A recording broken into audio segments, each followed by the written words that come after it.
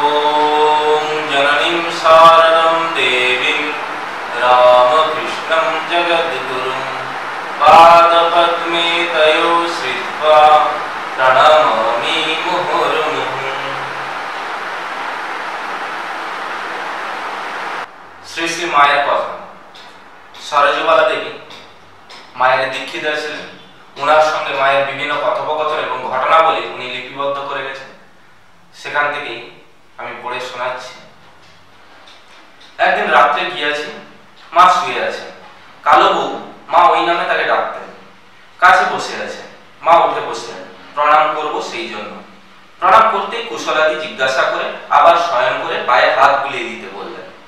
পরে কথা প্রসঙ্গে বলতে লাগলেন, শোনো মা, বিধাতা যখন প্রথম মানুষ সৃষ্টি করলেন, তখন এক প্রকার সত্যগুণী করেই করলেন। ফলে তারা জ্ঞান নিয়ে জন্মালো। সংসারটা যে অনিত্য, তা বুঝতে আর তাদের দেরি হলো না। সুতরাং তখনই তারা সব ভগবানের নাম নিয়ে তপস্যা করতে বেরিয়ে পড়ল এবং তার মুক্তি পদে লীন হয়ে গেল। বিধাতা দেখলেন, তবে তো হলো না। এদের দিয়ে তো সংসারে লীলাখেলা কিছু করা চলল না। তখন সত্যের সঙ্গে রজ তম অধিক করে মিশিয়ে মানুষ সৃষ্টি করলেন। এবার লীলা খেলা চলল ভালো। এই পর্যন্ত বলে সৃষ্টি প্রকরণ সম্বন্ধে সুন্দর একটি ছড়া বললেন।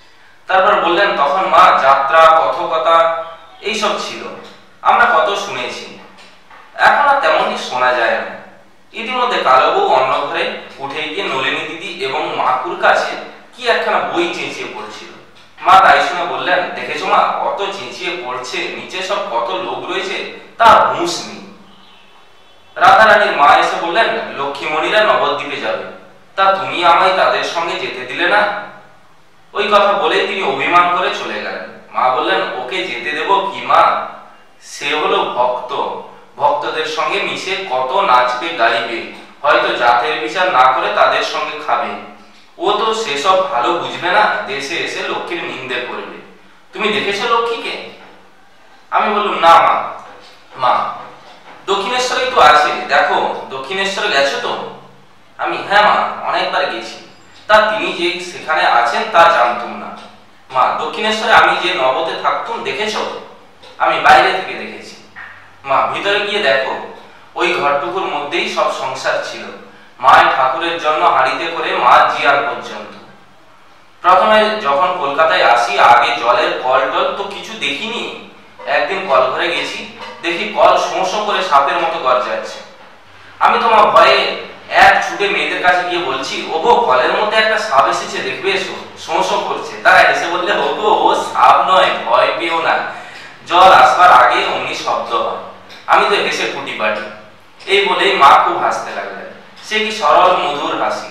আমিও আর হাসি চেপে রাখতে পারলাম না। ভাবলুম, এমন সরলই আমাদের মা বটেন। মা, বেলুড়ে ঠাকুরের উৎসব দেখেছ? আমি। না মা, কখনো বেলুড়ে যাইনি। শুনেছি সেখানে মেয়েদের গিয়ে গোল করা সাধু ভক্তরা পছন্দই করেন না।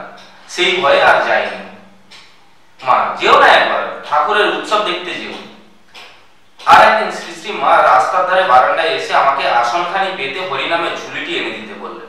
তাই এনে দিলে বসে জব করতে লাগলেন। প্রায় সন্ধ্যা হয়ে এসেছে।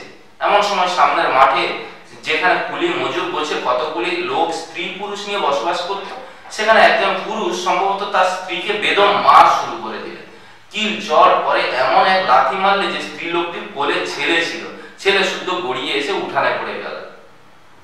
আহা, তার উপরে এসে আবার কয়েক লাথি, মায়ের জব করা বন্ধ হয়ে গেল। এই কি আর তিনি সহ্য করতে পারেন? অমন যে অপূর্ব লজ্জাশীলা, গলার স্বরটি পর্যন্ত কেউ কখনো নিচে থেকে শুনতে পেত না। একেবারে রেলিং ধরে দাঁড়িয়ে উঠে তীব্র ভর্সনার স্বরে বললেন, বলি, ও মিনসে, বউটাকে একেবারে মেরে ফেলবি নাকি? আহ, মলো যা।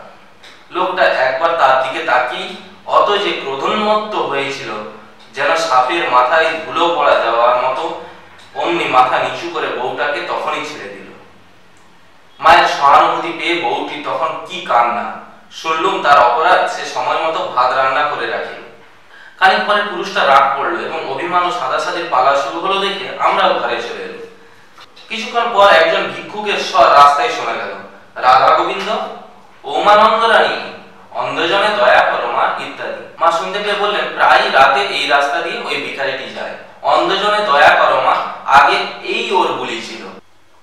তা গোলাপ ওকে সেদিন বলেছিল, ভালো, ওরে, সঙ্গে সঙ্গে একবার রাধা কৃষ্ণের নামটিও করো। গৃহস্থের কানে যা, তোরও নাম করাবো। তা নয় অন্ধ অন্ধ করেই গেলি? সেই হতে ও এখানে এলেই এখন রাধা গোবিন্দ বলে দাঁড়ায়।